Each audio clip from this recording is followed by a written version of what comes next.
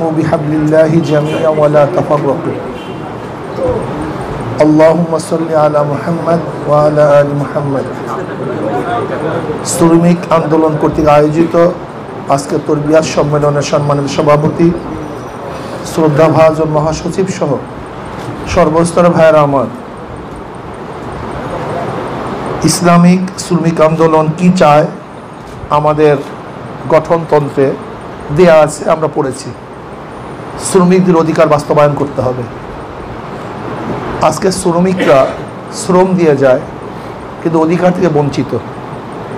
মালিকরা শ্রমিকদের সাথে ভালো আচরণ করে না, বেতন বাকি থাকে।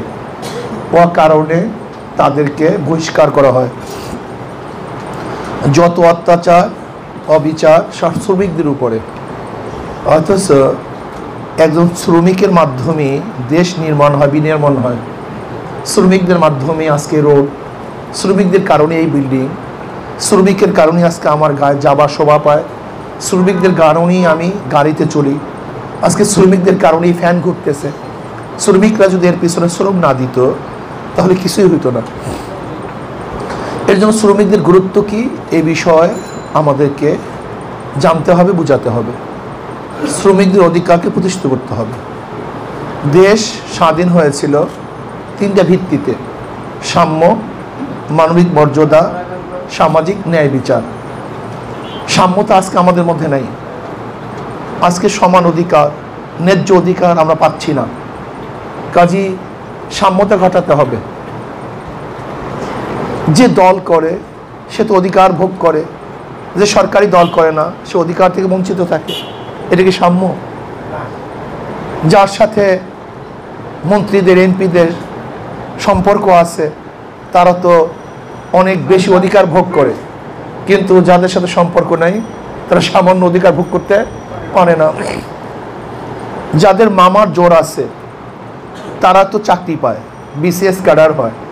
কিন্তু যাদের সাথে মামাদের সম্পর্ক নেই তারা ধারে কাছেও যেতে পারে না কি সাম্যতা? যাদের সাথে সম্পর্ক আছে, তারা তো চিকিৎসার সুযোগ সুবিধা পায়। কিন্তু যাদের সাথে সম্পর্ক নাই, সরকারের সাথে, তারা আজকে চিকিৎসার থেকে বঞ্চিত। চিন্তাও করা যায় না। আমি বিশ্বাস করি যে ইসলামী শ্রমিক নীতি যদি, শ্রম নীতি যদি, ইসলামী শ্রম নীতি যদি বাস্তবায়ন হতো, তাহলে সবার সাম্যতা চলে আসতো। মালিক এবং শ্রমিকের মধ্যে বিভেদ থাকতো না, ভেদাভেদ থাকতো না।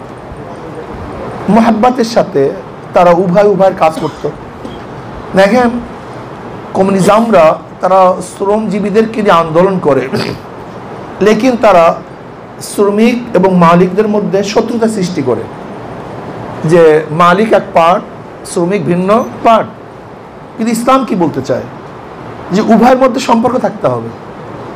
মালিক চায় শ্রমের, শ্রমিক থেকে কাজ, আর শ্রমিক চায় ন্যায্য তার প্রাপ্তি। তার প্রাপ্তি দিয়ে দিলেই যথেষ্ট হয়ে যায়। ইসলাম কি চায়? মালিক এবং শ্রমিক আলাদা কিছু না সম্পর্ক আছে। কি সম্পর্ক? মালিক চায় শ্রম, আর শ্রমিক চায় তার ন্যায্য প্রাপ্তি। বাসের মধ্যে সমন্বয় হয়ে যায়। আমরা কেউ কাউ শত্রু নেই। যাই হোক ইসলামী আন্দোলন বাংলাদেশ বাংলাদেশ ইসলাম হুকুমাত কায়েম করতে চায়। ইসলাম হুকুমাত কায়েম করার জন্য আমাদের সংগঠনের প্রয়োজন, নেতৃত্বের প্রয়োজন, আদর্শের প্রয়োজন। সংক্ষিপ্ত কথা। পাঁচ ঔষধ, তিন সবক, তিন শর্ত। খেয়াল রাখিয়েন। পাঁচ ঔষধ, তিন সবক, তিন শর্ত। এইটাকে খেয়াল রাখিয়েন।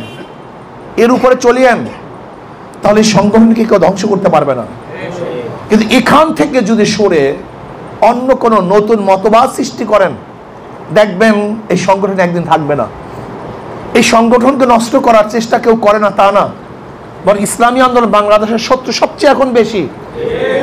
দেখবেন আমাদের জাতি ভাইরাও আজকে বেদাতিদের বিরুদ্ধে কথা বলে না। ইসলামের দুশ্মনদের বিরুদ্ধে কথা বলে না। তারা প্রতিপক্ষ বানিয়েছে ইসলামী আন্দোলন বাংলাদেশকে। আমরা কি তোমাদের প্রতিপক্ষ? অবশ্যই না। আমরা তোমাদের প্রতিপক্ষ নই। যারা ইসলাম চায়, সে আমার বন্ধু, যে চাক না কেন। আব্বাজার রহমাতুল্লাহ স্পষ্ট বলেছেন, যদি আওয়ামী লীগ, বিএনপি ও ইসলামী হুকুমাত কায়েম করে, আমি তার গোলাম। যে ইসলামী হুকুমাত কায়েম করবে, সে আমার বন্ধু। কাজে আমাদের কেউ শত্রু না। ইসলাম হুকুমাত কায়েম করার জন্য যে চেষ্টা করবে, যে কদম বাড়াবে, সেই আমার বন্ধু। যে ইসলামী হুকুমাত কায়েম করবে না, সে আমার দুশ্মন, সে আমার শত্রু। কাজী শত্রু এবং মিত্র, এটা চিহ্নিত করতে হবে। আমাদেরকে আজকে পাঁচ ঔষধ, তিন সবক, তিন শর্ত মনে আছে তো? তিন সবক মনে আছে তো? প্রতিদিন দুই রাকাত নামাজ, সালাতুল হাজত নামাজ আদায় করতে হবে। আল্লাহ, তোমার জমির তোমার হুকুমাত, ইসলাম হুকুমাত কায়েম করে দাও।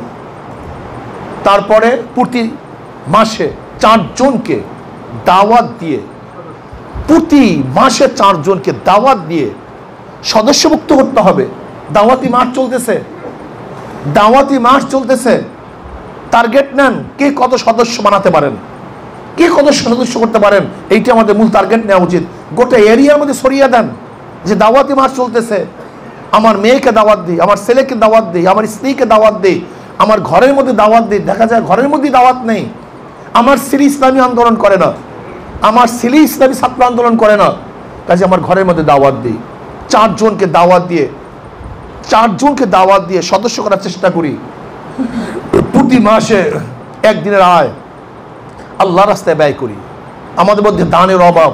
দান করি না। কেন দান করব না? একটা দিনের আয় আমরা আল্লাহ রাস্তায় কি দান করতে পারি না? যার আয় নাই, যে ব্যয় করি, একটা দিনের ব্যয় আমরা আল্লাহ রাস্তায় করব। ঠিক না? নেইয়াতে খুলুস, হিম্মতে খুলুস, তরবিয়াতে খুলুস। নেইয়াতে খুলুস, তরবিয়াতে খুলুস, হিম্মতে খুলুস।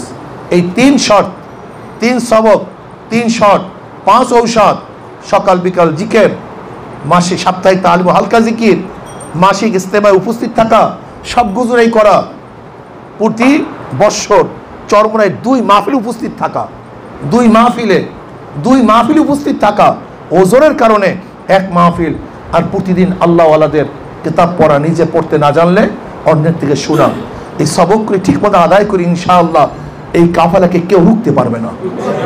এই কাফেলাকে কেউ রুখতে পারবে না ইনশা আল্লাহ কেউ রুখতে পারবে না, কেউ ধ্বংসও করতে পারবে না। কেউ ধ্বংস করতে পারবে না। কাজে পাঁচ ঔষধ, তিন সবক তিন শর্ত।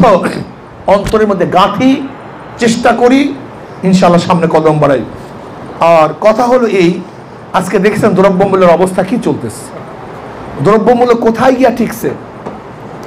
গরিবরা, সাধারণ মানুষ, মধ্যবিত্তি, শ্রেণির লোকগুলি ব্যাগ নিয়ে বাজারে যায়, কিন্তু বাজার করতে পারে না। আজকে নীরব দুর্ভিক্ষ চলতেছে। আর পেটুয়া বাহিনীরা, তাদের মধ্যে তো দুর্ভিক্ষ নাই। হাজার হাজার, লক্ষ, কোটি কোটি টাকা তারা আত্মসাৎ করেছে, চুরি করেছে, ডাকাতি করেছে। কাজী, এই দ্রব্যমূল্যের ঊর্ধ্বগতি যদি সরকার রোধ করতে না পারে, তাহলে গণ আন্দোলনে ঝাঁপিয়ে পড়তে হবে। রাস্তায় আন্দোলনে নামতে হবে। মানুষ মারা যাবে, দুর্ভিক্ষের মধ্যে পড়ে যাবে। কাজে, এর বিরুদ্ধে আমাদের সংগ্রাম করতে হবে, আন্দোলন করতে হবে। এ রাজি আছেন ইনশাআল্লাহ? আপনারা প্রস্তুত থাকুন। আজকে শ্রমজীবীরা কয় টাকা তারা আয় করে? আর তাদের দ্রব্যমূল্যের জন্য কয় টাকা ব্যয় করতে হয়? কোনো সামঞ্জস্যতা নাই। সামান্য সামঞ্জস্যতা নাই। কাজে দ্রব্যমূল্যের বিরুদ্ধে ঊর্ধ্বগতির বিরুদ্ধে আমাদেরকে আন্দোলন করতে হবে। আর মদের বিরুদ্ধে ইনশাআল্লাহ আন্দোলন করতে হবে। আর ইসলামিক এবং ধর্মীয় শিক্ষা, ইসলামী শিক্ষা প্রত্যেক প্রত্যেক পাঠ্য স্তাকের প্রত্যেক শ্রেণির মধ্যে, প্রত্যেক ক্লাসের মধ্যে প্রথম থেকে শুরু করে শেষ ক্লাস পর্যন্ত প্রত্যেক ক্লাসের মধ্যে ইসলামী শিক্ষা বাধ্যতামূলক করতে হবে। অন থেকে শুরু করে মাস্টার্স পর্যন্ত প্রত্যেক ক্লাসের মধ্যে ইসলামিক শিক্ষাকে বাধ্যতামূলক করতে হবে।